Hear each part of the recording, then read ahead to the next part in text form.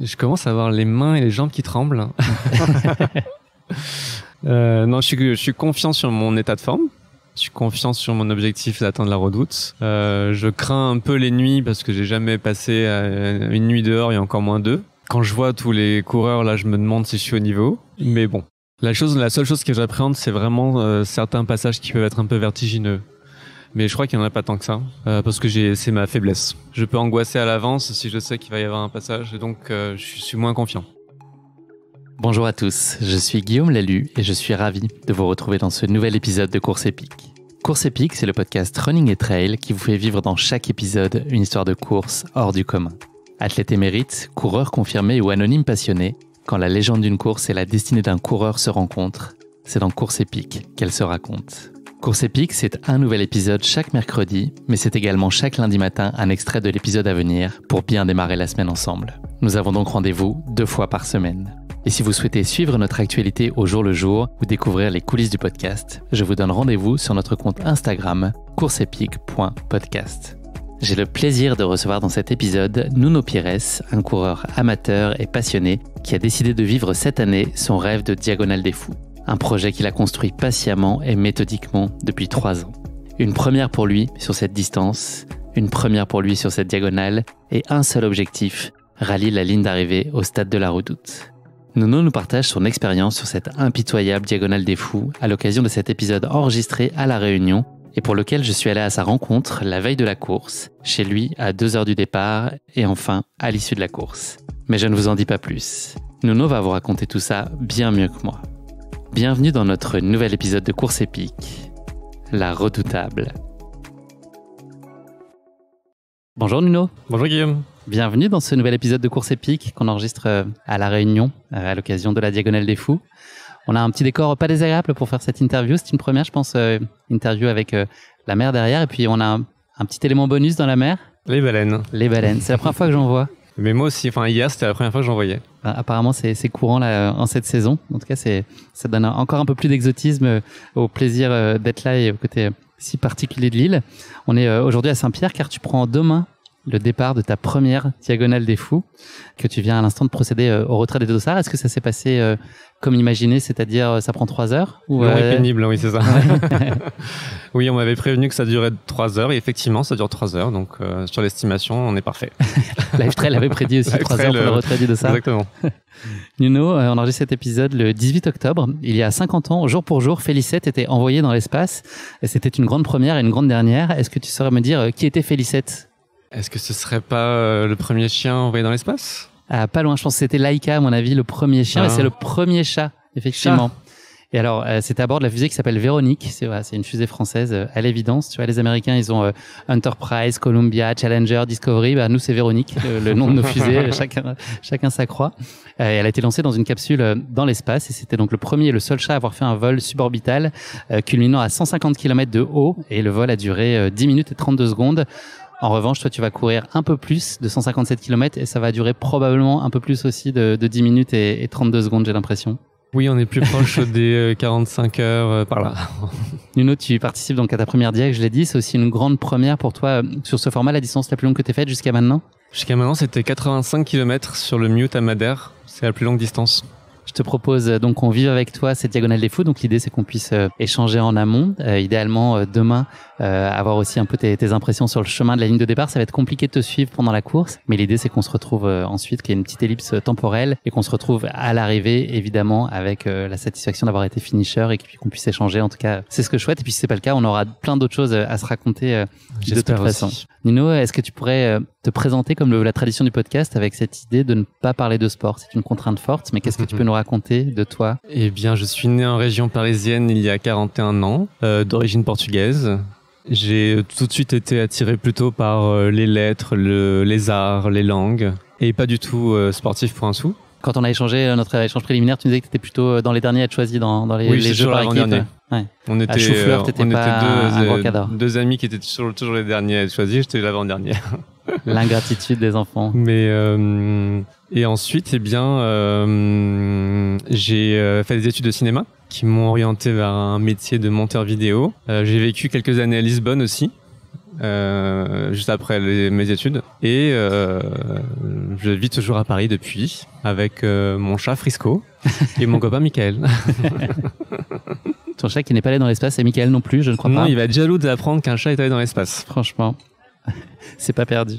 Nuno, euh, donc on l'a compris, le sport était assez loin de toi dans tes plus jeunes années, euh, mais tout ça, ça a changé euh, à la fin de ta vingtaine. Est-ce que tu peux nous parler de la façon dont la course à pied a, a trouvé sa place euh, gentiment et progressivement dans ta vie Oui, il y a une douzaine d'années, euh, c'était justement après mon retour de Lisbonne euh, vers Paris. Euh, je me suis mis à la course à pied parce que je travaillais près du bois de Boulogne et j'avais des collègues qui partaient courir le midi, donc je me suis laissé happer par l'une d'elles. Et tout a commencé par 5 km très très lent, très très difficile.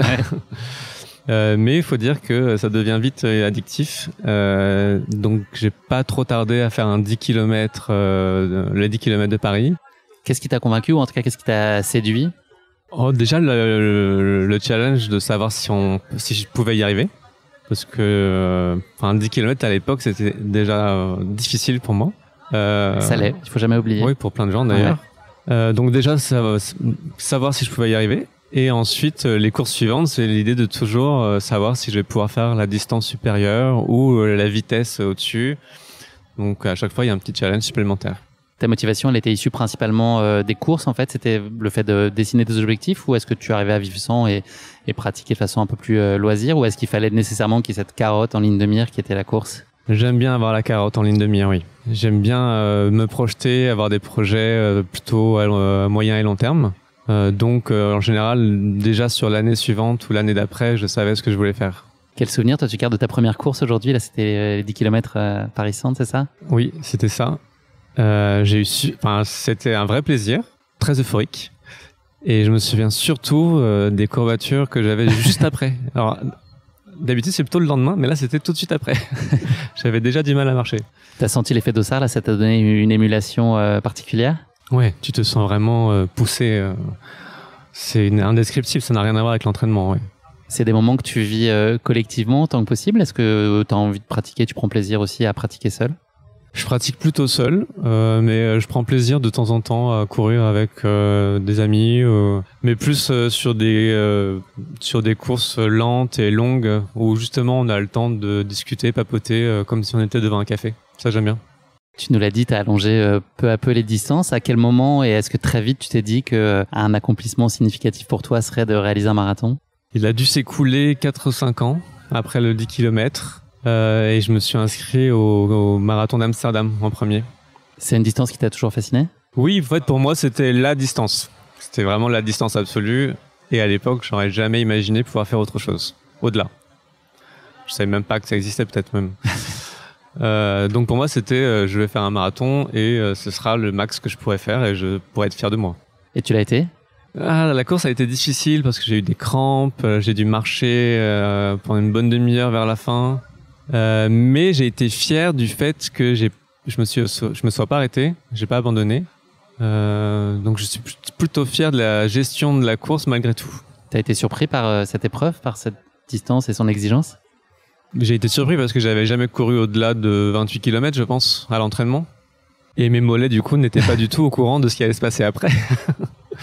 Donc ça s'est quand même bien passé au, au global. et Oui, oui, puisque ça tu as réitéré ensuite, tu as fait euh, ça 8 marathons? Euh, j'en ai fait 7, Sept. de mémoire et euh, j'en, bah, j'ai réitéré l'année suivante avec le marathon d'Athènes. L'idée c'était quoi un par an, c'est ça De pas non C'était plus. environ un par an, oui. ouais. À l'exception peut-être de 2020 et 2021, mais sinon un par an. Donc là, on l'a entendu, euh, c'était euh, aux Pays-Bas pour ton premier euh, marathon. Là, tu viens de parler d'Athènes, c'est aussi le prétexte et l'occasion d'aller visiter et puis d'aller passer des bons moments à droite à gauche sur le globe, c'est ça? Oui, c'est, un prétexte de, visiter une capitale européenne principalement. Le marathon d'Athènes, c'était aussi un coup de cœur parce que c'est le marathon original. Enfin, c'est la distance originale entre marathon et Athènes. Et euh, j'aime bien aussi ces marathons qui finissent euh, pas au, au point de départ, où il y a un point A et un point B, euh, et il y a comme un objectif à atteindre et pas juste une boucle où on retourne au point de départ. Donc ça, ça faisait partie de ces marathons-là, comme celui de Lisbonne que j'ai fait plus tard. je me, À chaque fois, je me dis, moi, quand je prends le trajet bus aller, je me dis, mais c'est pas possible qu'on court tout ça. mais si. Et là, on se rend compte vraiment de la distance quand Ouais, on ouais. fait pas une boucle.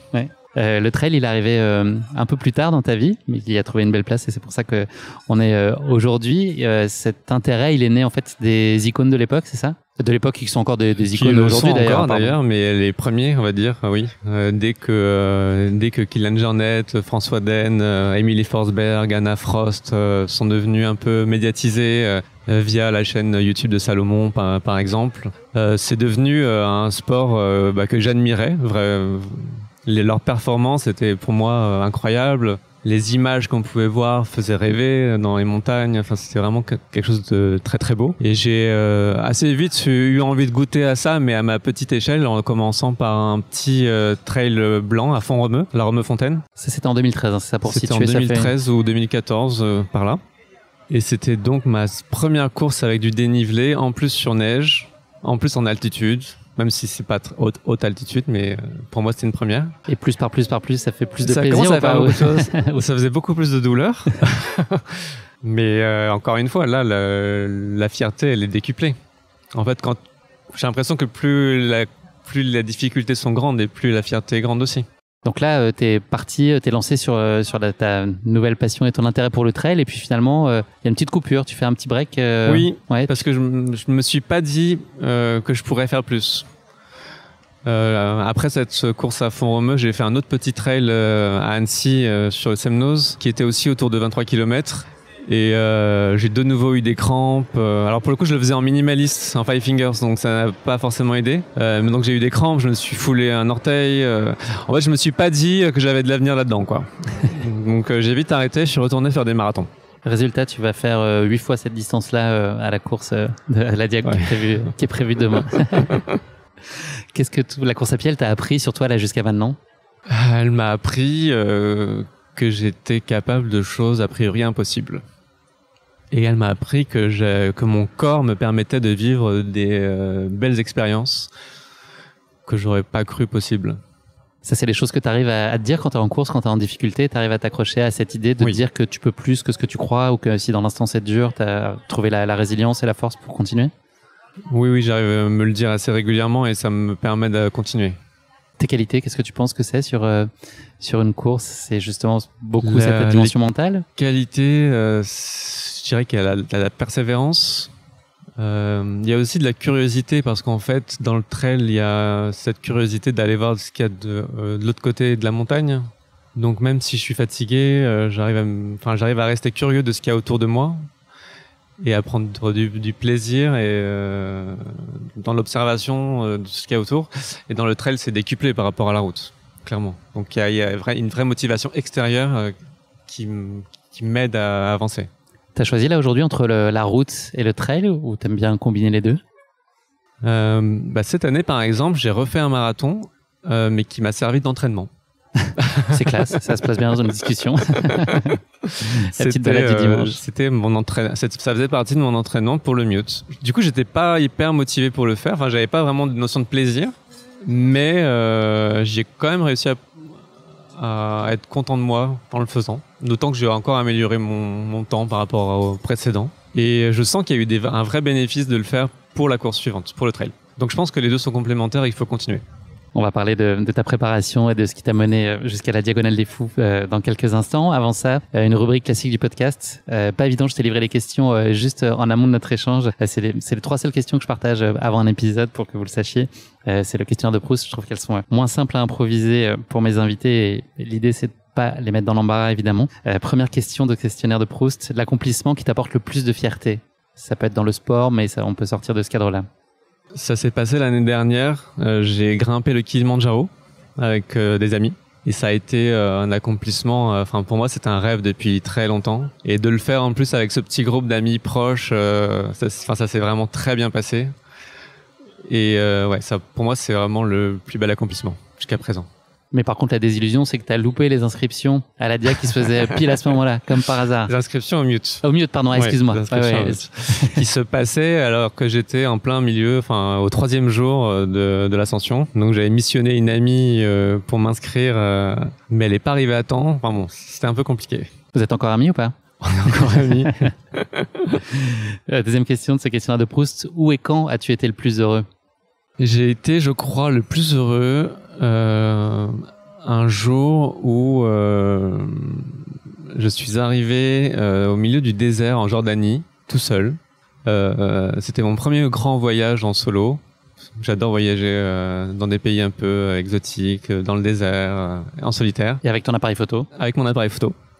Et euh, c'était la première fois que j'arrivais dans cet endroit, donc, euh, qui s'appelle Fenan, euh, dans le Wadi Dana, en Jordanie. Et pour moi, c'était euh, le jour, euh, je pense, où j'étais le plus heureux dans ma vie. Parfait. J'ai des images mentales, ça doit être euh, pas mal. La Jordanie, c'est euh, bigrement tentant. Je pense au Alpha à des sables en Jordanie, là, qui me, qui me fait de l'œil aussi. euh, c'est une destination que j'aimerais bien découvrir. Par le prisme de la course à pied, c'est encore plus chouette. Beaucoup d'hélicos, là, au- au-dessus de nous. Oui, il y a pas mal d'hélicoptères par ici. Ah, bah, c'est bah, c'est un avion. Dernière question de ce questionnaire de Proust. Un moment qui a changé ta vie pour toujours? Je pense que c'est euh, ma décision de revenir à Paris après euh, mes cinq ans passés à Lisbonne. Et euh, en fait, prendre cette décision a réorienté toute, toute ma vie, en fait. Je pense que rien n'aurait été pareil sans cette décision prise un peu sur un coup de tête. Sans tout dévoiler, c'est guidé par des considérations personnelles ou professionnelles? Euh, les deux, il y a eu une sorte d'enchaînement des choses euh, qui m'ont mené planètes. là où je suis aujourd'hui. Et c'est oui, c'est comme un alignement vraiment. euh, au fil des années, tout s'est tout, tout s'est emboîté. Nuno, je te propose euh, de présenter la course euh, à nos auditeurs qui, euh, je pense, la connaissent bien, mais c'est toujours bon de se rafraîchir un petit peu la mémoire. Donc, cette course se tient mi-octobre, fin octobre, au cœur de la l'île de, la Réunion. Elle fait partie des quatre courses, donc la Diagonale des Fous, qui sont proposées dans le cadre de ce grand raid, qui propose trois autres courses que sont la Mascareigne et le relais Ambrocal et le Trail de Bourbon. Le parcours de la Diag compte euh, 10 000 mètres de dénivelé positif et 165 km à travers euh, forêts, rivières, canyons, cirques et pitons sur des sentiers de l'impossible dans la plus époustouflante des scènes sportives. Le parcours qui traverse l'île de part en part du sud au nord est considéré comme l'un des plus exigeants au monde, mais aussi comme l'un des plus beaux. Plus qu'une course, euh, la Diagonale des Fous est une véritable religion sur l'île de la Réunion. Là, je commence à le mesurer aujourd'hui pleinement. Le vainqueur remporte habituellement la course après 23 à 24 heures de course et la barrière horaire pour les derniers en queue de peloton, elle est fixée à 66 heures, soit pratiquement 3 jours de course, ce qu'on souhaite euh, pas à grand monde, enfin le moins possible en tout cas. Mm. C'est quasiment euh, 24 heures de plus que pour l'UTMB, c'est 20 heures de plus, donc ça donne aussi une idée euh, pour une distance équivalente. Ça donne aussi une idée de, de l'exigence de la course. 2829 coureurs seront euh, présents cette année sur la ligne de départ de la Diag et euh, plus de 7100 au global sur les quatre courses. Quelques infos, euh, le ratio de femmes est assez faible, il y a seulement 363 femmes là sur la, sur la course. Le plus jeune des coureurs cette année aura 21 ans, le plus âgé 79, la moyenne d'âge 44 ans. T'es pile en dessous, ça va Pile en dessous. Nickel. Euh, et 31 pays seront euh, représentés. Voilà, cette course, euh, elle est devenue pour toi, comme pour beaucoup, euh, l'une des courses à vivre à tout prix, une, fois au moins euh, dans sa carrière d'ultra-trailer, avec un graal ultime, donc arriver à rallier le stade de la Redoute à Saint-Denis. Je ne doute pas que ce soit ton cas, Nuno, en tout cas, je te le souhaite, évidemment. Le palmarès, il est absolument incroyable. François Den, Kylian Jornet, Benoît Girondel, Courtin de Walter, Ludovic Pomeray, ainsi que la réunionnaise Marcel Puy, qui l'a remporté déjà cinq fois. Voilà, il y a des très beaux noms. Et puis cette année, il y a aussi une startiste qui est incroyable. On était à la conférence de presse, là, juste avant. C'est vrai que le plateau est absolument phénoménal et ça, promet aussi en tête de course une bien jolie bataille. Donc voilà, aujourd'hui, euh, c'est euh, à travers ta voix et tes mollets qu'on va vivre cette course euh, fascinante et particulièrement donc cette, cette édition 2023. J'ai une petite question qui pique avant ça Oui. pour toi, Nuno, à te, à te proposer. Cette question qui pique, elle est relative à une personnalité locale qui donne également et légitimement son nom à l'aéroport. Il s'agit de Roland Garros, qui est un aviateur français, qui est lieutenant-pilote lors de la Première Guerre mondiale, qui est né en octobre 1888 à Saint-Denis de la Réunion et qui est mort dans un combat aérien le 5 octobre 1918 euh, dans les Ardennes. Je vais te livrer trois affirmations sur euh, Roland Garros. Euh, à toi de me dire laquelle est vraie. Tu es prêt? D'accord. C'est le premier pilote à avoir traversé la Méditerranée en avion. C'est ma première proposition. Il est à ce jour le plus jeune tennisman français à avoir remporté un tournoi du Grand Chelem. C'était en 1907 et c'était à Wimbledon en Angleterre. Dernière question, euh, enfin dernière proposition plutôt. Euh, passionné de tennis, il aurait déclaré euh, dès sa première édition que la diagonale des fous c'était de la balle. Ça aurait pu. Je penche pour la première. Bravo, effectivement. Il a été le premier, euh, c'était un pilote émérite. Euh, quand on lit sa biographie euh, sur Wikipédia notamment, on peut voir qu'il a brillé euh, dans, à bord de son avion. Il a été très téméraire et bizarrement, c'est pas un joueur de tennis. Voilà, il a, il a Hmm. jamais vraiment joué. Il a été grand sportif, cycliste, rugbyman, mais c'est pas pour ça qu'il est le, le plus connu. Et donc, il a réussi à traverser la Méditerranée sans escale de Fréjus à Bizerte en Tunisie en moins de 8 heures, un exploit qui paraissait à l'époque complètement impossible. Il est parti un peu avant 6 heures du matin de la Côte d'Azur et il atterrissait en, en Tunisie en, en début d'après-midi. Et donc, il est parti à la boussole. Il a connu euh, deux pannes pendant son vol et est arrivé à Bizerte avec seulement 5 litres d'essence dans le réservoir. Ça, ça vaut combien d'hypoglycémie et de camelback percé là sur une course? C'est juste. Hein. c'est impressionnant. Eh ben, écoute, bravo, tu l'as pas volé cette question qui pique, un, cas d'école. je te propose d'attacher ta ceinture maintenant et de rabattre ta tablette pour nous parler plus en détail et en toute sécurité de ton avant diagonale des fous. Euh, je voudrais qu'on revienne plus particulièrement sur les lieux euh, de la course, donc euh, l'île de la Réunion. C'est pas une première pour toi? Tu avais déjà eu l'occasion de venir une première fois dans une logique plus loisir. ça a contribué aussi à faire naître ton envie de participer à la Diag? Oui, clairement. je suis venu il y a trois ans pour la première fois. Et tout de suite, je suis allé randonner dans le cirque de Salazie et surtout dans le secteur de Mafats pendant plusieurs jours. Et euh, ça a été un mélange d'un peu de stress et d'admiration parce qu'il y a des sentiers un peu vertigineux et je suis sujet un peu au vertige.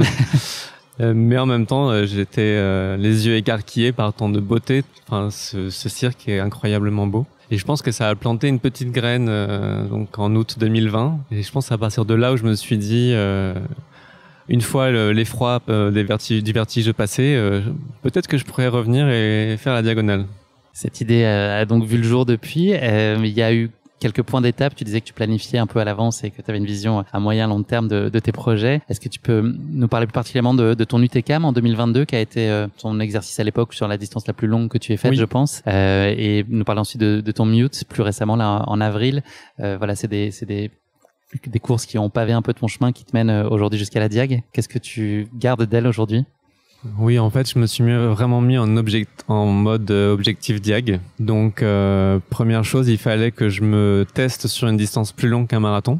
C'était jamais arrivé. Et tant qu'à faire, autant avoir les points nécessaires pour en faire une course qualificative pour la diagonale. Donc, pour petite info, pour ceux qui ne sauraient pas, il faut des courses qui rapportent 85 points. Donc, par exemple, 50 km plus 3500 euh, dénivelés, ça fait 50 plus 35, 85. Donc euh, à partir de là, c'est une course qui, qui vaut pour euh, être qualifié au tirage au sort pour la Diag et il en faut deux. Et il n'y a pas de circuit, hein. c'est vraiment, on peut assez librement sur. C'est vraiment sur ces deux données-là uniquement. Pas d'index, pas de course de, de, distance égale à faire. C'est vraiment que sur ces chiffres-là. Donc je me suis lancé sur le 50 km de l'UTCAM, l'Ultra Trail Côte d'Azur Mercantour, qui est qui est la Sky Race du circuit, enfin de, de cette course-là, euh, ça a été euh, épique, disons-le. Un peu, un peu moins que d'autres qui sont passés à ce micro, mais euh, quand même à mon échelle c'était pas facile parce que euh, bon déjà dans la première montée euh, je cours à côté d'un coureur bien plus âgé que moi qui me dit que la, la, montée suivante elle est elle est trois fois pire que, que la première alors je commence à m'inquiéter. Ça fait toujours plaisir d'entendre ça. En plus, on monte sur des cols à 2005, donc je suis pas habitué non plus. Beaucoup de rochers, de même de pierres un peu coupantes même. Donc le, terrain est pas facile.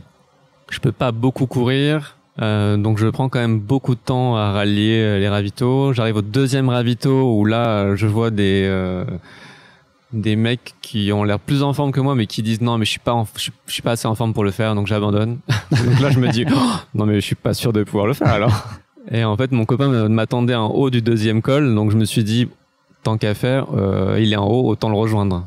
Donc ça a été ma, petite motivation pour le faire malgré tout. Mais en me disant, euh, après j'arrête. Je fais pas le troisième. je me sentais vraiment pas capable. Mais euh, j'ai découvert des ressources insoupçonnées et euh, je suis parvenu euh, à la fin de ce, de ce parcours. Elles sont venues d'où ces ressources? Qu'est-ce que tu as réussi à, à actionner, à activer? Un peu d'ignorance. Okay.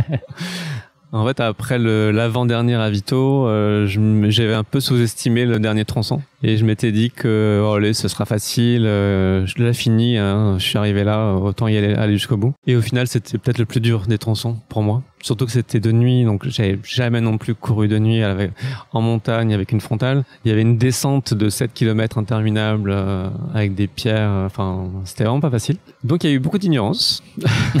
Parfois c'est mieux de pas savoir. Mais exactement. Peut-être que si je l'avais connu la suite, euh, j'aurais pas fini. Et t'es sorti comment de cette course-là euh, Il y avait pas mal de avec deux ongles d'orteil en moins. mais franchement mais Confiance, mais franchement fier et euh, bien plus en confiance qu'avant sur ma capacité à me dépasser. Parce que vraiment, j'avais battu cette barrière des 42 km. J'avais malgré tout pris du plaisir en montagne. Et euh, je me suis pas tout de suite décidé sur la suite, mais c'était envisageable.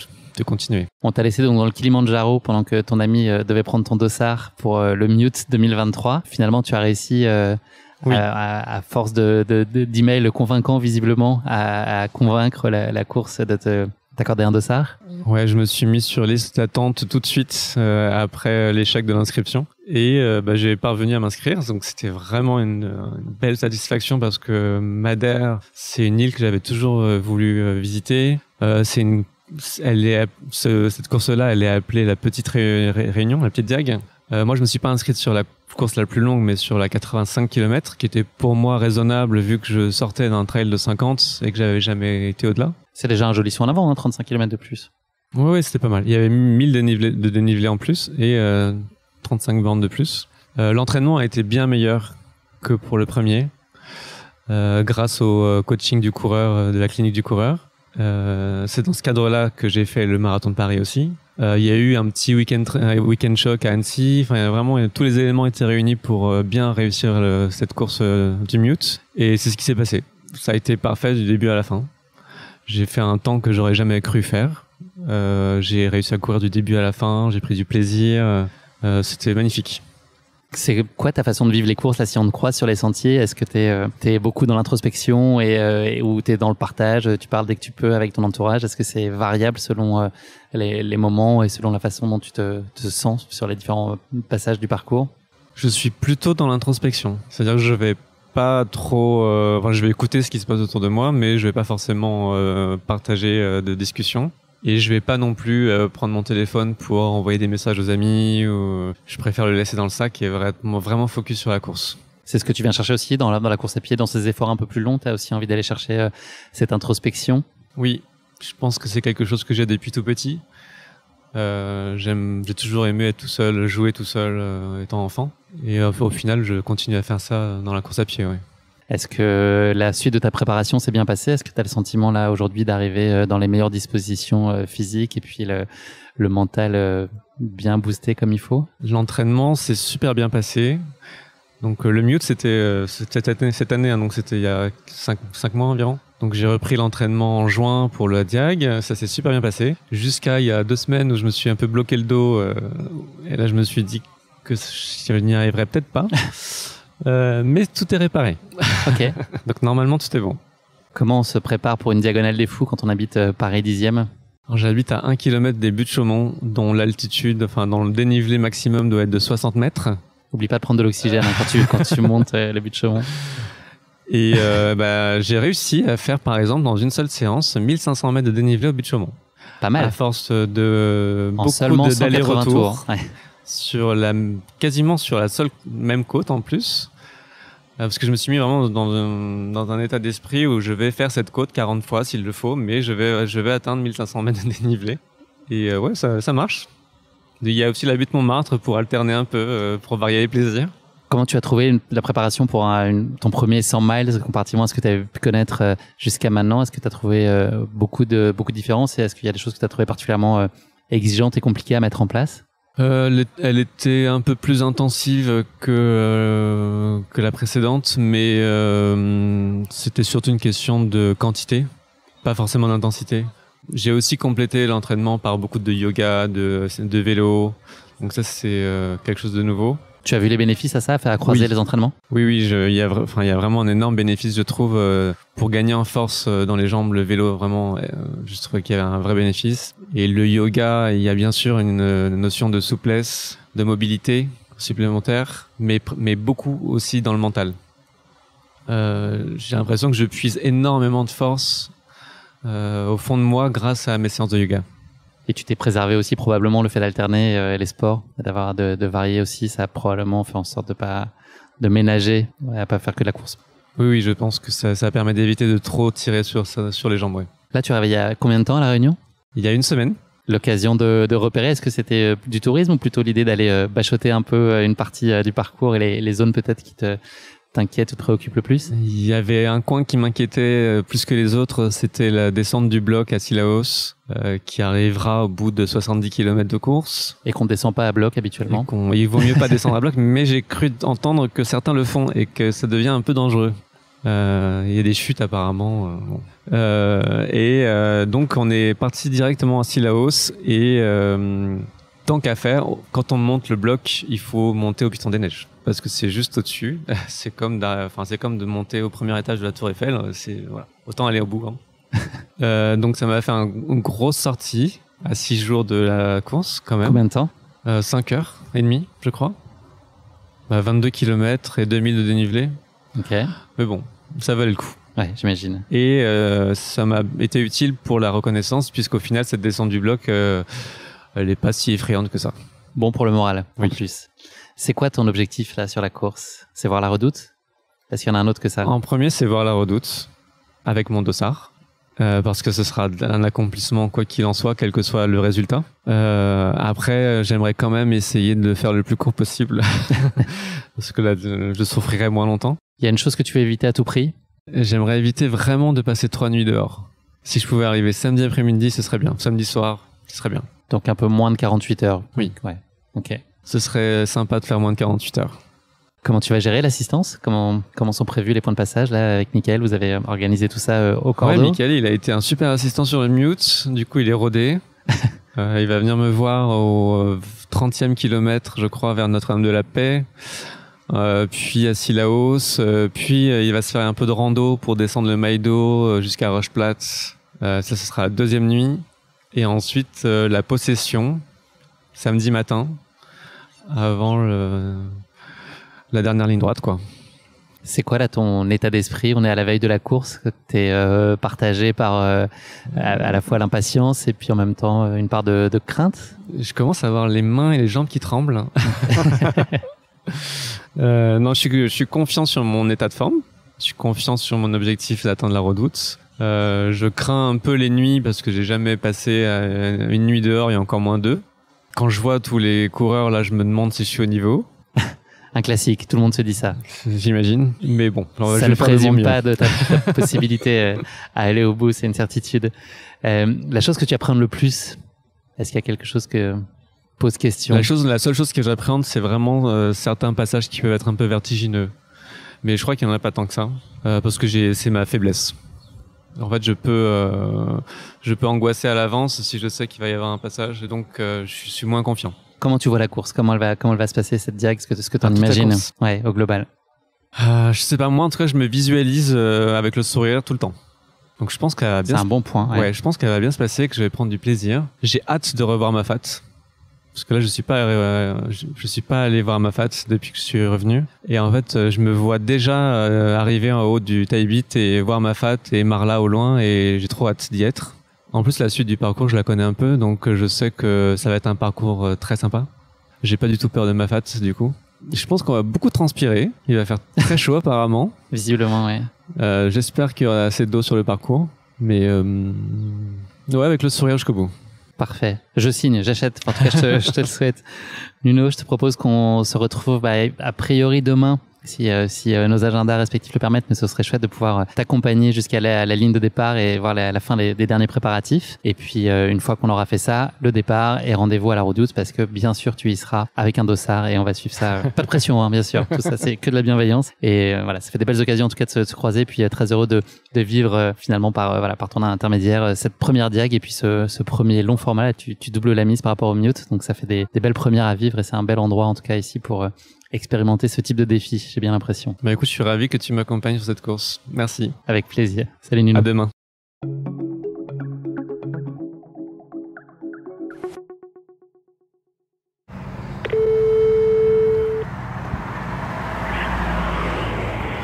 Ouais, je suis devant.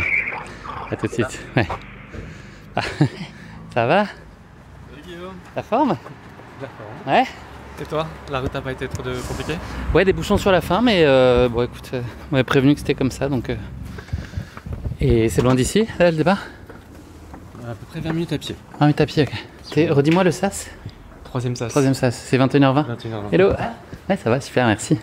Vous avez tout le truc? Non, en fait, les proprios sont là. D'accord. Euh, et, et nous, on loue le petit bungalow là. Ok, ok, ok. Donc ça m'a permis de me reposer cet après-midi. J'ai pas réussi à faire de vraies siestes. Ok, trop de stress? Ouais. Ok. Je me, je me projette sur plein de détails. Des pas bons ni, ni bon ni mauvais, mais euh, j'arrive pas à, à les occulter. ouais. Et la nuit? La nuit s'est bien passée. Ouais. Je me suis quand même levé à 5h30. Coucher avec le raisonnable du soleil. D'ailleurs, je me suis dit, c'est bien, le soleil est déjà levé à 5h30. Ouais, C'est bon signe pour demain. ouais c'est cool, ouais. Oui, tu vas gagner tôt. là, il va se coucher tôt, donc tu vas gagner toi déjà 3 heures de nuit en partant. Et coucher tôt, donc, il t'a réussi? Ouais, vers 22h30, euh, je m'endormais, je pense. Pas mal. Donc une bonne nuit de 7 heures. Ah bah ouais, ouais. J'avais fait une sieste de 2 heures avant aussi, dans Ah l'après-midi. bah ouais, t'as trop de sommeil là. Donc là, j'ai pas Tu réussi. peux passer 3 nuits dehors euh, sans aucun problème. tu peux arriver dimanche. euh, J'espère. Il y a J'espère, pas de sans souci. problème. Non, non, non, il y aura que deux nuits. Et la nuit, je me rends pas compte s'il peut faire froid ou pas. En altitude seulement. Il fait, c'est quoi, une dizaine de degrés, 10-15 Ça peut descendre à zéro Ok, quand on est à 2000 mètres. Mais là, c'est pas ce qui est prévu. Mais là, apparemment, cette année, non. Ok, On donne plutôt 12, de... 12 ok. 15, je crois. Et ils annoncent de la pluie? Non. Non? Parce que moi j'ai de la pluie sur le trajet. Un peu de farine, apparemment. On appelle ça la farine ici. C'est quoi? Une petite brume, brune, voilà. Ok. Un peu de farine, mais pas de pluie. Euh, Ok. Bon, c'est pas mal. Ouais. Ça s'annonce bien. T'as ton sac pris un t-shirt Ouais. un peu trop petit. Ça, vous êtes obligé de le porter à la- à l'arrivée au départ, c'est ça? Oui. L'organisation t'en fournit deux, un t-shirt et un débardeur. Ok, Il faut l'avoir obligatoirement au départ et à l'arrivée. Ok. Alors certains l'enlèvent juste après, le remettent juste avant l'arrivée. Bon. Moi je vais le garder jusqu'au premier ravito où je ferai une pause. Donc, Le Notre-Dame de la Paix, Ouais. 30e kilomètre. Et après je me changerai. On peut se faire là ton petit parcours euh, et les points de passage et tout d'assistance en détail. Ça va me permettre de réviser aussi. euh. Alors, je, réviser. je connais hyper bien le parcours mais j'ai tout oublié. Parce que le stress me fait... euh, J'ai un grand brouillard dans la tête. On quitte euh, la- donc Ravine Blanche, Saint-Pierre qui est euh, 8, mètres d'altitude. Ok, gros gros dénivelé d'entrée de jeu, ça part aller haut. au domaine Vido à 650 mètres d'altitude, au 14e kilomètre. Euh, Notre-Dame de la Paix, par contre, c'est un point assez haut. Kilomètre 26, 28. 28e kilomètre, on est à 1681 mètres d'altitude. Ah ouais, donc là, t'as et quand même pris beaucoup de dénivelé. déjà 2000 de dénivelé, Ok, presque. Euh, et c'est apparemment l'endroit où euh, il commence à faire froid et donc il vaut mieux mettre un manche long euh, habituellement. Cette Ok. année, je sais pas. c'est un temps de passage, t'as une idée à quelle heure tu seras à peu près? T'as estimé plutôt ton... Vers 2 heures du matin, a priori. C'est ce que Live Trail dit Et ensuite, on a une série de montées-descentes jusqu'au parking Nez de Bœuf. Alors, c'est pas- accessible directement en voiture. Ok, il y a- il faut s'arrêter à un endroit avec la voiture et ensuite prendre une navette. Ok. Obligatoire. La route est fermée. Et ensuite, la fameuse descente vers Marabout, qui apparemment est toujours un enfer à cause de la boue. Euh, cette année, il semblerait que ce soit plus sec que d'habitude. Donc on arrive en bas à bout. Gros, c'est ça. Je pense qu'on en a vraiment marre. Ok, ouais, il porte bien son nom. Et euh, on a ensuite la montée qui va jusqu'au gîte euh, de la caverne du four qui est au pied du Piton des Neiges. Donc là, le sommet, là, c'est euh, le pied du Piton des Neiges, on va dire. Ok. Donc là, t'es à Euh, quoi T'es à 2000 quelque chose On est à 2000 mètres d'altitude, Ok, à ce, point-là. Et ensuite commence la fameuse descente du bloc vers Sillaos. Ok, celle que t'as repérée. Donc j'ai hâte de voir le gîte de la caverne du four. Ce sera le lever du soleil vers 6-7 heures du mat. Ok. Donc là, on est quoi Un peu avant 70 Ouais, parce qu'en Sillaos on a 72. Ok, Donc Sillaos c'est la première euh, base de vie importante où on récupère un sac d'allègement. t'as quoi dedans? J'ai euh, une paire de baskets pour en changer à cause de la boue qui précédait. Ouais. Euh, une tenue toute neuve, euh, vraiment en short, t-shirt. euh, euh, la nourriture qui me servira pour tout ma fat. Ok, un gel, barre, compote, boisson d'hydratation aussi. Peut-être même qu'il y aura une petite douche si nécessaire. ok. Bon, c'est vraiment une grosse base de vie où je pense prendre une, Prendre demi-heure. Ouais. Ensuite, on commence la montée vers le Taibit. Taibit, une fois qu'on est en haut du col du Taibit, euh, on voit Mafat. Et là, on rentre dans Mafat. Ok, On est à peu près au 80e kilomètre en haut du Taibit. Et le premier avito dans Mafat, euh, c'est Marla. Donc j'y serai normalement en début d'après-midi et je pense que c'est une bonne heure pour faire une petite sieste de 10-15 minutes. est-ce que t'en auras marre là? Voilà. C'est possible, mais j'ai hâte de voir Une heure de sieste, ok. Ouais. C'est très mignon, tu devrais y aller. Euh, bah, je- ouais, mais c'est ma fat, c'est euh, ouais, c'est compliqué d'accès, non Bah, tu dois descendre 1000 mètres euh, depuis le Taibit et les remonter. Compliqué. On, on sort un peu de Mafat après Marla parce qu'on passe au col des Bœufs, qui est un peu la frontière avec le cirque de Salazie. Et on rentre euh, dans le sentier scout au 94e kilomètre et on revient du coup dans Moffat. On plonge euh, 1000 mètres de dénivelé jusqu'à Grand Place et ensuite on remonte 1000 mètres de dénivelé jusqu'à Roche Plate Ouais. Où euh, il y aura Michael de nouveau pour un, un autre ravitaillement. Donc pour venir à Roche Plate qui est vraiment dans Mafat, il faut là aussi descendre 1000 mètres de dénivelé depuis le Maïdo et les T'as tes remonter. baskets Je suis équipé. J'ai juste un sac énorme, mais enfin, très beau. 14 kilos. 14 kilos Ouais. C'est vrai Mais tu Bah, pars. avec, euh, euh, avec son eau, parce qu'il a quand même pris 3 litres d'eau pour euh, lui. Ok. Descendre. Vu qu'il y a quand même 4 heures de rando. Ouais, ouais. Et puis euh, bah, de la nourriture en rab. 6 kilos de besoin. nourriture, euh, 2 kilos de chaussures. Pas de, chauss- pas de chaussures, mais euh, qu'est-ce qu'il y a d'autre Euh, Il y a la petite pharmacie, euh, crème, euh, crème anti-frottement, une tenue de plus si besoin. Il a aussi euh, cuisiné un peu ce matin. Euh, donc on a préparé euh, de la, une sorte de guacamole et de la purée de patates douces. Pas mal Donc ça. il est en charge de, de ramener tout ça. Avec des tortillas ou pas le guacamole Non ouais. Ah ouais Tortilla sans gluten. Pas mal. Pas trop pimenté. Non, Faut pas. Ouais. Par contre, euh, pas de risque. ce serait dangereux. Périlleux. Il n'y a pas de toilette sur le chemin. 13 kilos, ok. Donc toi, c'est-à-dire, si tu fais le marathon des sables euh, l'année prochaine, il fera 28 kilos ton sac probablement Ouais, pour non, le, non, le tu départ. des conseils. je t'appellerai à ce moment. Euh, Une fois à Roche-Plate, on descend, euh, je crois qu'on descend 1500 de dénivelé en tout, jusqu'à Debras, qui est la sortie de Mafat. C'est au niveau de la rivière des Galets. C'est la deuxième grosse base de vie, équivalente à Sillaos. 127. On est au c'est ça 127e kilomètre. Ouais. Donc là aussi, il y a les kinés, les ostéos, euh, les douches, euh, la nourriture, euh, à tout va. Donc là, un stop de combien de temps, tu penses? Comme pour Sillaos, une demi-heure, je pense. Ok. Michael sera pas là parce qu'en fait, il a pas le temps d'être à, à Roche-Plate et à Debras. Ouais. Debras, c'est encore dans Mafat en fait. Et pour y accéder, pour la- les assistants, il faut prendre des 4x4, des taxis 4x4 depuis la possession. Ok. Et a priori, euh, ça va être le bordel. Il fa- faut compter 2-3 heures d'attente pour avoir un 4x4. euh, compliqué. Donc le- lui, je le retrouverai à la possession au 144e euh, kilomètre. À partir de là, tous les, euh, tous les ravitaux sont avec assistance autorisée. Et ils sont euh, en termes de temps, ils sont. T'as le temps de faire à chaque fois. Parce qu'il y a quoi Il y a une dizaine de bornes entre chaque Un peu moins 7 et 9 142, peut-être un peu 151, juste. 160. Je pense pas qu'il les fera en fait. On n'a pas trop étudié cette question. Euh, bon, j'ai oublié de préciser qu'après Debras, on a la fameuse montée du- de Dodane qui fait 800 mètres de dénivelé et qui remplace un peu la montée du Maïdo qui existait avant. Ok. Euh, et après, on est sur des montées de 500, 600 mètres jusqu'à la descente finale euh, depuis le Colorado jusqu'à la redoute. Avec un petit chemin des Anglais euh, au passage. Ouais, j'ai hâte de le voir celui-là parce que je voulais le repérer, euh, on n'a pas vraiment eu le temps. Ok. Mais euh, je suis prêt pour le sentier des Anglais.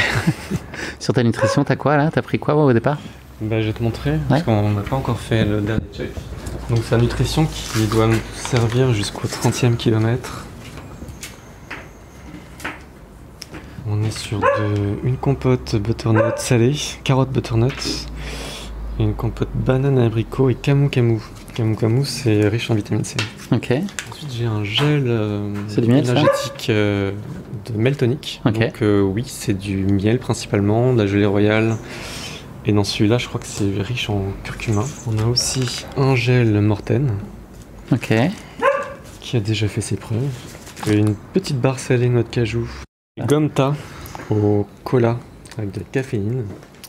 C'est la balise euh, SFR là, c'est ça Pour suivre en temps entre les, entre les points de passage Exactement. Ok. On a des pastillas d'électrolytes. Et en termes de nu- de- d'hydratation, j'ai aussi pris un drink mix euh, caféiné de Morten Ok. et euh, du NAC euh, pastèque. Ok. Donc t'auras- t'as pas d'eau claire là dans tes flasques? T'auras que de. Si, en fait, euh, le Morten, je vais le mettre dans. J'ai un bidon. J'ai un bidon d'un litre et demi euh, parce que je préfère avoir plus d'eau que pas assez, même Ouais. si c'est un peu plus lourd. Ouais. Euh, je vais mettre une flasque avec le NAC Ouais. et une flasque d'eau claire. Ok. Et je les rechargerai que au 30e kilomètre. euh, voilà. Entre temps, je, je rechargerai en eau claire. Une brosse à dents Oui, c'est, inspiration euh, de Walter. C'est pas à utiliser autant qu'elle, mais ce sera pour les deux grosses bases de vie, euh, Silaos et euh, deux bras. Quand même, euh, au sortir de deux nuits, je pense que c'est pas mal de se brosser les dents. Et pour les- tu parlais de douche tout à l'heure, c'est-à-dire qu'il faut que tu dans dans tes sacs d'allègement, là, t'as des serviettes et autres Ou, euh, J'ai, ouais. En fait, euh, j'ai une ser- enfin, Michael aura une serviette pour Silaos. Je sais pas si je prendrai une douche, mais en tout cas, je me nettoierai euh, Ok. là-bas. Et comme il sera pas à deux bras, j'ai pris une serviette dans le sac d'allègement pour deux bras, au cas où. Avec bien sûr chaussettes neuves, shorts neufs, euh, caleçons neufs, enfin, boxer neuf, etc. Là, je vois ta montre, elle, est, elle a l'autonomie qu'il faut ou t'as besoin d'avoir euh, un chargeur et tout ça pour qu'elle tienne? Euh, je vais prendre un peu de risque Ok, parce que je pourrais la mettre en batterie prolongée. ouais, qui dure 58 heures. Mais la précision n'est pas idéale, surtout en montagne. Ça peut fausser un peu la distance. Euh, donc je vais le mettre en précision intermédiaire, qui dure 40 heures. Et euh, j'ai une batterie. J'ai un petit, euh, un petit power bank. Ce qui fait que sur les gros ravitaillements, euh, je pourrais recharger à la fois euh, la montre. Ouais, Elle peut se recharger sans sans s'arrêter. Euh, le téléphone et éventuellement la frontale. J'ai une frontale avec trois batteries. Mais ouais, à Silaos, je rechargerai celles qui seront vite. Voilà, j'ai quand même pris. il est pas si gros que ça ton sac là, ça va hein? Ouais, ça va. J'en ai vu des plus gros. On a une petite tenue avec. Parce qu'il fallait dans, quand même dans le matériel obligatoire avoir un pantalon à manches longues. Ok, ouais. Euh, donc euh, c'est là. Je sais pas si je les mettrai. Pas de veste euh, demandé? Si, Ok, elle est là, dans cette poche qui est plus accessible. d'accord. Donc une veste Gore-Tex. Ah, j'ai jamais pensé à la mettre là. moi. Bah, comme ça, tu la tires comme ça, sans avoir à sortir le sac, Ouais. s'il se met à pleuvoir d'un coup. Et un petit bœuf qui est là aussi. Donc c'est plus accessible. Euh, J'ai des petites pastilles euh, d'électrolyte aussi euh, que je que j'ajoute, euh, que je bois. Et là, sur euh, la- l'alimentation, là, aujourd'hui, t'as fait quoi? T'as fait, euh, t'as fait attention? Alors un petit déj, euh, deux tartines de pain beurre confiture, Ouais, un œuf dur, une banane, quelques morceaux d'ananas, café. D'habitude, je bois pas de café en- le jour de la course, mais quand c'est le matin, Ouais. le départ c'est le Ouais. matin. Mais là, j'avais largement le temps de le digérer. Et euh, vers 14h, un curry. Un curry euh, végétarien, euh, du riz donc, ok. des haricots, euh, une sorte de chou local. Parfait, équilibré. J'ai pas de problème de, de digestion d'habitude. Enfin, j'en ai jamais eu. Donc là-dessus, euh, je suis assez confiant. Est-ce qu'il y a un truc que t'as oublié? Bah, j'avais oublié la barre, mais finalement, elle est là. Tu t'es pas, pas arrivé ici non, en j'ai un peu oublié ma tête quand même. Je perds, je perds un peu les- la notion des choses, la mémoire, euh, juste avant la course, c'est bizarre. Et je vais partir euh, Bah, écoute, les yeux fermés, quoi. Ouais, ouais, ça été organisé, c'est carré là. hein. Non, mais c'est carré, les sacs d'allègement sont carrés. Tous les paramètres que tu maîtrises, en tout cas, ils sont, euh, ils sont bien menés quoi. Tout ce que je peux maîtriser en amont, je, je fais en sorte de maîtriser. Comme tu vois, il y a un sac euh, pour euh, Silavos. Un sac pour deux bras. Ok. Et Donc ça, tu déposes euh, tout à l'heure là? Ouais. Ok. que j'avais préparé en amont. Et donc, euh, tu vois, là, on a, ça j'ai rajouté un peu à la fin, mais euh, on a un petit sachet d'hydratation, enfin d'alimentation et d'hydratation.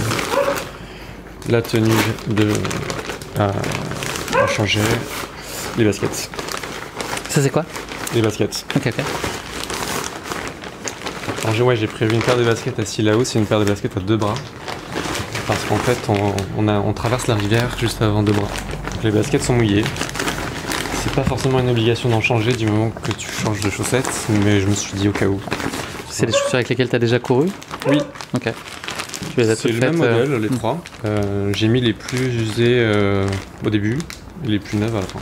Et tout ça, ouais, c'est la partie soins. C'était pour avant plutôt et éventuellement Euh, ouais, sur place. pour a- avant et pour les deux bases de vie. Ouais. Euh, En tout cas, quand euh, je croiserai Michael si, si j'en ai besoin.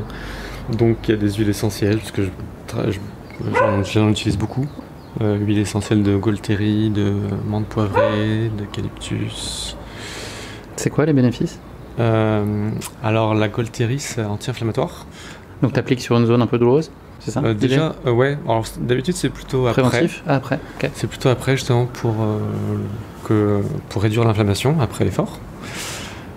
Mais là, sur une course de, aussi longue, je vais la mettre en, même pendant l'effort. Ok. L'eucalyptus, c'est, j'utilise d'habitude plutôt avant, ça permet de réchauffer un peu le muscle. Ça permet de ne pas partir à froid, quoi. Euh, la, la menthe poivrée, euh, c'est plutôt pour rafraîchissant. Donc, euh, si ton muscle est fatigué, ça va lui donner un peu de tonus à un moment. Et puis, euh, Tu vois les effets? Ouais. Ouais. ouais, ouais. Je pense que je pourrais pas faire sans. Ok. Ouais, enfin c'est surtout sur les mollets et les chevilles que j'utilise. Euh, mais ouais, non, je, je pense que je pourrais pas faire sans, c'est vraiment très efficace. Et puis il y a bien sûr de la crème anti-frottement qu'il faut appliquer bien partout. Euh, Crème solaire aussi, j'imagine, à fond. Il y a la crème solaire que j'aurai aussi sur moi. Et puis euh, j'ai même un, un baume CBD euh, qui fonctionne pas mal. Ouais, Pour te détendre. Ouais, ça, ça détend bien les muscles. Ok. Euh, Il y a aussi une huile de, une huile de magnésium. Ça c'est pas mal aussi pour détendre les muscles. Ouais, t'as tout un petit labo euh, Ouais, avec un toi là. petit Ouais. labo ouais, qui a fonctionné à merveille sur le mute, donc euh, je réitère.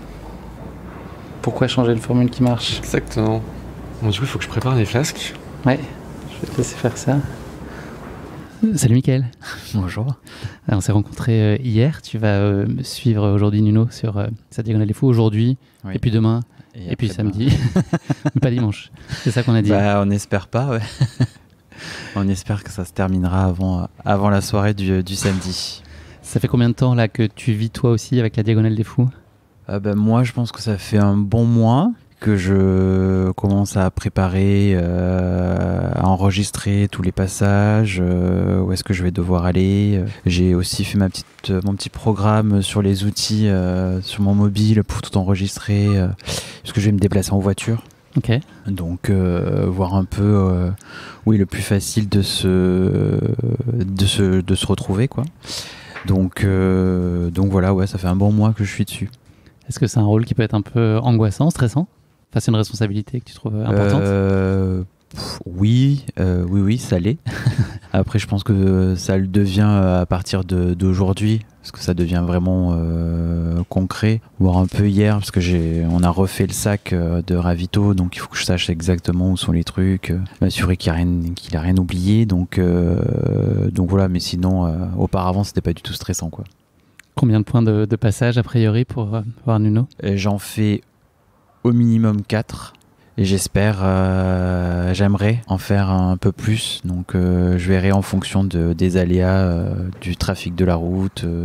T'as une idée sur Donc, ça? Là, euh, j'allais te demander, moi aussi, je découvre ça sur le, le trafic pour faire la, la jonction entre les différents ravitaux, base vie. Euh, alors non, on nous a prévenu que globalement euh, là sur la nuit euh, tout va être euh, très bouché, ce qui est normal puisque tout le monde va globalement aux mêmes endroits. Ça devrait aller un peu mieux après Silaos je pense. Donc voilà, et puis nous finalement on a fait le choix de de, de je vais aller directement à Rocheplate donc euh, il faut faire une rando euh, descendre 1000 mètres et remonter 1000 mètres donc je pense que pas tout le monde va le faire et qui est un peu avant euh, là où euh, tout le monde va prendre les 4x4 pour traverser euh, la rivière des, des Galets donc euh, à contre-temps. Ouais, on va essayer de, de- je vais essayer de gagner du temps à ce moment-là. Enfin, gagner, pas gagner du temps, mais en tout cas éviter les, les bouchons à ce moment-là. Donc oui, apparemment c'est assez compliqué. Et puis on l'a vu aussi. Euh, cet été, on a accompagné un, un ami sur l'UTMB et on a vu que, bah, que ça pouvait être très compliqué malgré la super organisation de l'UTMB euh, et qui n'est pas la même ici, quoi. T'es impatient là que la course euh, démarre? Euh, pas trop. Un peu Pas préoccupé? Trop. Ouais, c'est rassurant quand même de, de le voir là. donc, euh, donc, euh, donc voilà. Non, après, je, je sais qu'une fois qu'il sera parti, je vais être dedans et un peu ça va être ma course à moi, quoi. Vous avez pris une balise qui permet de, en plus de savoir euh, où sera Nuno euh, à tout moment. Oui. C'est aussi euh, rassurant, j'imagine. Euh, je pense que je lui ai pas laissé le choix. Euh, ouais, c'est hyper important. En plus, euh, je sais qu'on capte pas euh, dans ma fat. Donc même si donc ça serait beaucoup plus compliqué de, de et la le trajet dans ma fat est assez long finalement. Donc donc ouais, ça va me rassurer de voir avancer le petit bonhomme. Est-ce que tu as prévu euh, des temps de sommeil? Est-ce que tu vas avoir le temps de, de te J'ai reposer est-ce prévu du temps de sommeil, ça sera assez court, mais c'est important parce que je vais quand même euh, conduire beaucoup, donc euh, il faut pas non plus que je fasse n'importe quoi. Donc euh, oui, j'ai prévu de dormir environ deux heures cette nuit. Et je pense que demain, fin d'après-midi, je devrais avoir du temps euh, sur le, le ravito euh, à l'attendre, donc je pense que je vais euh, me reposer un peu sur place. J'ai prévu euh, des vêtements chauds et, et après je pense que je vais redormir un peu de vendredi à samedi. T'es coureur toi aussi? Oui. Quel genre de distance? Qu'est-ce que tu aimes le plus? Euh, j'ai fait, je fais du marathon. Enfin, ma plus longue distance c'est le marathon. Euh, J'en ai fait euh, trois ou quatre, je sais plus. Et j'ai fait quelques trails, mais vraiment des petites distances. On a fait le ensemble cet été euh, l'ETC. Euh, et depuis euh, quelques plusieurs mois maintenant, euh, je, je me suis essayé au triathlon et j'ai beaucoup aimé. Donc, euh, donc voilà. Et là, on parlait euh, à la blague tout à l'heure du marathon des sables. C'est aussi un, un projet peut-être un jour avant la, avant la Diag? Ah oui, oui, oui. Ouais. Alors, ça fait longtemps qu'on se l'est dit qu'on aimerait le faire euh, ensemble. Donc, euh, ouais, j'aimerais vraiment euh, autant la Diag, l'UTMB. euh, je suis pas. Ça m'attire pas plus, mais euh, ouais, le marathon des sables, oui. Merci beaucoup, Mickaël. On se donne rendez-vous. euh, bah, on va aller ensemble, je pense, euh, au départ. Oui. Et puis, on va se retrouver à la redoute, surtout, Ah. pour célébrer l'arrivée de Nuno. C'est ça l'idée, hein? Il nous dit peu- oui. ouais. C'est l'objectif. C'est un oui euh, très, très confiant que- qu'on peut voir, observer. Merci beaucoup, Mickaël. Et puis, bon courage euh, aussi. Profite, Merci. profite bien de ces, ces beaux moments. Merci. Ça y est, on y est? Je crois bien qu'on y est là. 19h, à 2h du départ, un peu plus, puisque t'es Oui. deuxième sas, c'est ça? Deuxième sas, donc départ à 21h20. Bon. Bah, bonne course. Euh, merci, T'es serein? J'ai hâte de te revoir. Bah ouais, ce serait bon signe. Il faut que ce soit la redoute surtout, c'est ça le, Oui. le principe. C'est ça tu seras pas sur, le, sur les ravitaux. Je serais pas, Donc, je verrai un peu sur la tête de course. Alors, si tu nous prépares une grande surprise et que t'es top 10, on se verra très probablement. Et sinon, euh, non, là, Non. je serais plutôt en configuration euh, début de course, mais compte sur moi pour être euh, à l'arrivée, à la redoute. Je te verrai à Saint-Denis. Bonne course, profite bien. Merci. Et merci pour euh, l'accueil et puis là, ce petit euh, dernier tour euh, pour euh, voir si tout est bien en place. Avec merci plaisir. Nino, bonne course. Merci. À très vite.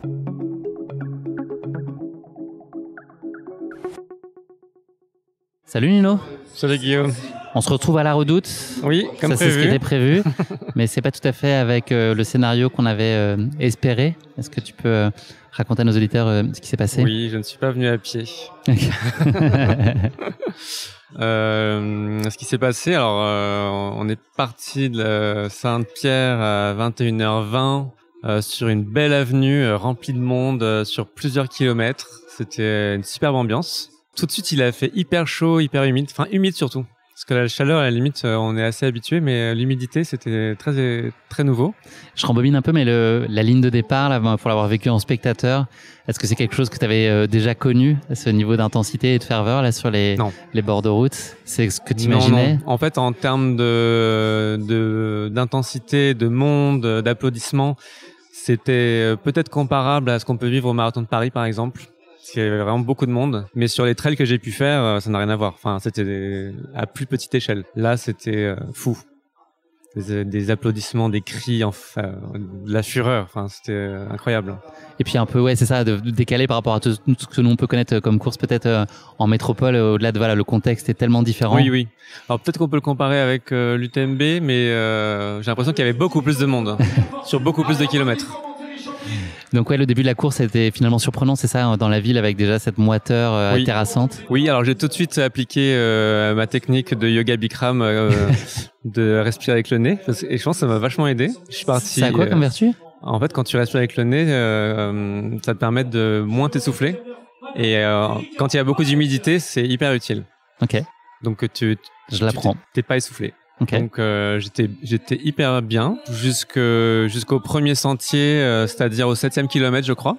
Euh, donc c'était de la route hein, jusqu'au septième kilomètre, avec beaucoup de monde euh, tout le temps. Et euh, premier sentier, première montée. euh, en fait, euh, j'ai continué à être hyper bien. Enfin vraiment, j'ai- j'étais comme je te le disais l'autre jour, euh, avec le sourire. euh, je l'ai super bien vécu. On s'enfonce euh, un peu dans des sous-bois un peu plus techniques ensuite avec quelques bouchons euh, sur des passages euh, un peu raides et euh, boueux et des singles.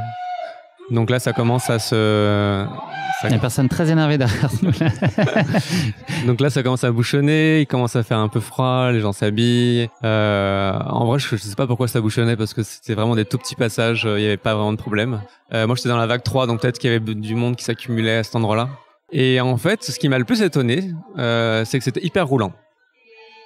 C'était hyper roulant pour moi jusqu'au euh, 30e kilomètre qui était euh, le deuxième ravito, le Notre-Dame de la Paix. Il y avait même, même beaucoup de portions de route. Il y a quand même un petit 1008 de D+, non, dans l'histoire Oui, alors je sais pas comment ça s'est passé, mais alors on est arrivé à 2000 euh, d'altitude euh, sans effort quasiment, mais vraiment hyper roulant, avec des belles portions de route euh, où en tant que Parisien j'étais hyper à l'aise. euh, voilà, je doublais plein de monde, c'était vraiment top.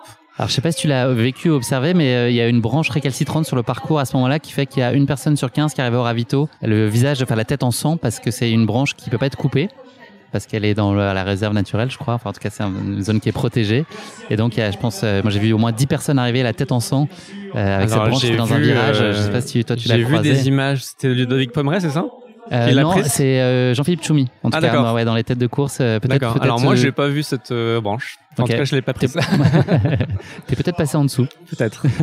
Effectivement, il y avait deux trois passages où il fallait baisser la tête et j'ai trouvé ça assez sympa parce que tous les gens qui, me précédaient disaient attention tête.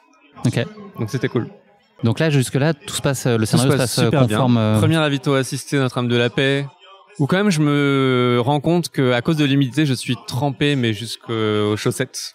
Et euh, ce qui fait que je suis quand même, j'avais prévu de le faire et donc je l'ai fait de changer t-shirt et chaussettes. Euh, mais même les baskets étaient vraiment dans un sale état. Euh, mais je suis reparti euh, hyper bien pour la continuation de la nuit. Et euh, donc là, il était 2 heures du matin. Et euh, je suis arrivé à Marabout à, au lever du soleil, donc vers 5h30, toujours en pleine forme. La nuit s'est hyper bien passée. Et le lever de soleil a été magnifique. C'était magnifique. Un ciel rosé avec le piton des neiges au loin. euh, C'était vraiment magnifique. Euh, mais jusque-là, je m'étais pas du tout reposé, en tout cas. Enfin, pas de pause. euh, donc, euh, c'était peut-être déjà un début d'erreur, si on commence à y réfléchir. Et euh, donc, tu penses que voyait- tu aurais dû marquer plus les arrêts au ravito, prendre Oui, un peu je plus de temps? Et par exemple, au, à Marabout, j'aurais voulu m'asseoir et me reposer un peu. Et en fait, il y avait euh, pas de place. Enfin, toutes les chaises étaient prises. Donc, je me suis dit, c'est pas grave, je vais continuer. En plus, tu vois le piton des neiges au loin et tu te dis, bon, bah, il y, y a le coteau Kervegen. euh, Après, je descends à Sillaos, c'est bon, quoi. Deux heures, deux heures. Dans quatre heures, je suis à Sillaos, nickel. Et en fait, non. Euh, le début du coteau Gervegen euh, a commencé à être euh, hyper compliqué. Là, c'était très boueux, beaucoup de pierres euh, hyper glissantes en plus. Il y a un, un peu de vide de, chaque côté en plus. Alors il y a des- de la végétation donc c'est pas dangereux mais euh, risque de chute quand même. Et en fait cette côte de Carvegen, elle est interminable. Enfin vraiment, euh, Tu j'ai l'avais euh, peut-être pas estimé euh, à ce niveau la difficulté Toi qui avais quand En même fait, bien observé le parcours, tu mesurais pas J'ai revu mes temps de passage que j'avais prévus et j'avais prévu des, la bonne durée. J'avais prévu 4 heures pour la faire et j'avais oublié. Ok. Dans ma tête, il me suffisait de 2 heures pour le faire. Et euh, alors que j'avais prévu 4 heures. Et en fait, euh, ça m'a embrouillé. Et c'était hyper euh, difficile en fait. C'était beaucoup de caillasse, beaucoup. Tu dois souvent mettre les mains pour progresser. Il a commencé à faire très chaud dès 7 heures du matin. Et donc je me suis épuisé parce qu'en plus j'ai pas voulu faire de pause non plus dans cette côte en me disant que la fin était proche et que je voulais arriver là-haut. Et jusque-là, t'as aucune alerte, t'as pas de, t'as pas de choses préoccupantes sur ton état de santé, enfin sur ton état physique, t'as rien qui te, Non, je commence, à, je commence à me sentir fatigué, mais euh, j'ai pas sommeil, j'ai pas de blessure, euh, tout va bien. J'avance à bon rythme, très régulier. Donc je me dis juste, il faut que j'arrive euh, en haut de cette côte, et après ça va descendre et ça va aller mieux. Mais à cause de la longueur de cette côte, euh, je pense que je me suis vraiment épuisé là. Et euh, la descente s'est passée par contre dans la- dans les conditions prévues, parce que je l'avais repéré, je savais combien de temps j'allais mettre. Euh, je suis descendu un peu plus lentement qu'au repérage parce que euh, je voulais pas euh, me blesser. Euh, comme prévu, euh, je te l'avais dit, mais certains descendent à bloc dans la descente du bloc. Je- donc je me suis pris quand même euh, le même mec deux fois Ok, parce qu'il savait pas gérer sa descente, mais qu'il essayait. Enfin, ok, Donc faut faire attention. ouais. Euh, J'approche de Sillaos. Euh, Donc toi, tu l'as vécu comme dans ton repérage où tu as eu le sentiment qu'elle était plus jouable que ce que tu imaginais? Oui, oui, elle était tout à fait jouable. Vraiment aucun problème. Et je sentais toujours pas de fatigue. Et par contre, arrivé à Sillaos, devant le stade de Sillaos, Bon, bah, je récupère mon sac d'allègement. Euh, je vois le panneau douche et je me dis, il me faut une douche. Parce qu'il faisait vraiment très chaud. Je me sentais. euh, Enfin, je, je pensais que ça allait me donner un coup de boost. Et en fait, euh, j'ai pris une douche glacée. Je me suis allongé sur la pelouse du stade. Et là, j'arrivais plus à bouger. Ok. Du tout. C'est-à-dire que j'avais les pieds euh, qui me faisaient extrêmement mal d'un coup. Alors je j'avais pas l'impression d'avoir particulièrement mal aux pieds avant. Euh, le moindre centimètre carré de muscle me faisait mal, même dans les pecs, dans les épaules, euh, partout. Et c'est la douche qui a réveillé toutes ces douleurs? C'est ce- c'est c'est une supposition, c'est possible. Peut-être que les muscles se sont contractés avec l'eau froide. Euh, J'ai quand même pris le temps, euh, 10-15 minutes, de rester allongé, pour voir si ça passait. Je me suis changé, j'ai mis ma nouvelle, nouveau t-shirt, nouvelle basket, tout ce que j'avais prévu pour repartir. Euh, j'ai mangé. J'ai retrouvé euh, Michael, mon assistant, qui m'a fait un petit massage des pieds, un petit massage euh, du dos. euh, voilà. Normalement, je me disais, ça peut repartir. Même si j'ai encore mal, en, en repartant, ça va se réchauffer, ça va aller. J'ai reçu en plus plein de messages hyper. Enfin, j'ai relu et vu des vidéos de messages de Paris qui étaient vraiment hyper encourageants. Et je me suis dit, je peux pas, même si j'ai mal, je peux pas m'arrêter là. Parce que là, l'idée de l'abandon, elle commence à t'effleurer à ce moment-là? Elle, elle a commencé dès que je me suis allongé sur la pelouse de Sillaos. Alors que je m'étais juré de pas abandonner à Sillaos. et euh, donc je repars. Je prends le chemin euh, de la rivière de Bras Rouge. Donc en fait, après Sillaos, tu dois descendre jusqu'à la rivière. Là, tu retombes dans une humidité hyper difficile en termes de respiration. Et ensuite commence la montée euh, pré-Taibit. C'est pas encore le sentier du Taibit, mais tu montes vers le sentier. Et là, euh, en fait, c'est des espèces de marches, euh, un peu comme on en trouve beaucoup dans ma fat. Et là, le moindre pas euh, était un calvaire. Enfin, j'arrivais plus à monter. Donc la douleur au pied, là, qui était le, la douleur la au gêne pied principale. était euh, fulgurante. Euh, un peu aussi dans les cuisses, mais ça, c'est une douleur que je connais, donc je sais que c'est gérable, que dans les descentes, ça passe. Mais là, la douleur au pied, c'est quelque chose que j'ai jamais eu avant, même sur une distance équivalente. C'est pas toi le Citroën Jumpy là qui est mal garé C'est Ludo Collet qui demande, le- qui cherche le propriétaire. Donc euh, à ce moment-là, je me dis mais euh, peut-être que je devrais revenir en arrière en fait à Sillaos.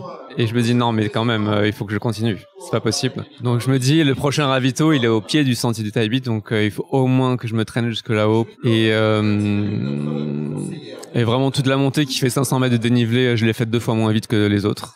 Euh, et je et en fait sur toute la montée j'ai pas arrêté de me dire euh, bon je vais arrêter en fait parce que au-delà du taille 8, c'est rentrer dans ma fat. C'est un cirque euh, qui est inaccessible si je peux plus avancer. Il faut que je revienne en arrière. Chaque pas était vraiment difficile. Euh, je me suis quand même arrivé jusqu'au ravito. Je me suis allongé 10-15 minutes pour voir si la douleur diminuait. Elle diminuait pas du tout. J'ai essayé de fermer les yeux pour m'endormir pour voir si ça m'aidait. La douleur m'empêchait de m'endormir. Donc, euh, je suis allé voir euh, l'organisation pour leur donner mon dossard. Et là, la question, vous êtes sûr? Ça m'a fait un petit choc, mais j'ai dit oui. Mais vraiment mal au cœur, quoi. Mais je sentais, enfin, j'étais sûr que je pouvais pas continuer. Alors évidemment, on peut jamais être sûr. Peut-être que si j'avais continué un peu, ça aurait diminué. Euh, D'autant que j'étais dans dans un timing où j'avais largement le temps de prendre mon temps. Euh, on était à ce moment-là à 18 heures de course et j'avais fait quasiment la moitié du parcours en, en kilomètres en tout cas. Mais je me voyais pas continuer à avancer. Donc c'est une décision qui est apaisée à ce moment-là? Oui, j'étais assez apaisé et clair euh, sur ma décision, mais euh, déçu de moi-même. Forcément. Est-ce que tu as le sentiment qu'il y a des choses que tu aurais dû ou pu faire différemment ou là c'est un impondérable, quelque chose qui, que tu peux pas euh, anticiper et que, que tu n'aurais pas pu euh, faire différemment? C'est toujours compliqué de, de, de jauger ça, mais Hmm. Ça fait 48 heures et donc j'ai eu largement le temps d'y penser. Il y a plusieurs choses que je pense que j'aurais dû faire. Déjà, j'étais venu euh, hyper confiant euh, parce que je connaissais ma fat et je me disais, euh, comme je connais ma fat, c'est bon, je sais ce qui m'attend. En fait, il suffit pas de le savoir. Peut-être qu'il faut s'entraîner un peu plus pour. Et cette année, je me suis pas particulièrement entraîné sur des santé techniques.